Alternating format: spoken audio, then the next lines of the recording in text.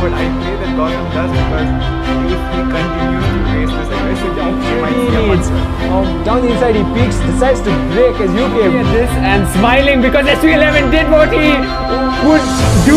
Like last season, the fight the track with him this season, loses a bit of his rev, but keeps it on track and Red Bull taking, having a brilliant fight at the back of the back, no contact so far, Chris Pye. Uh,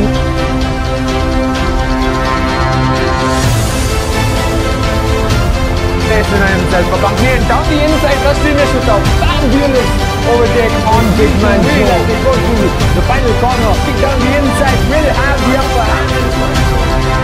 Yeah, really unfortunate somehow keeps it ahead. The UK is to go wheel to wheel with Crespo, will go wheel to wheel inside, locks up the front left. But Big Man Joe could have position, really have position. Mr. West comes back for it.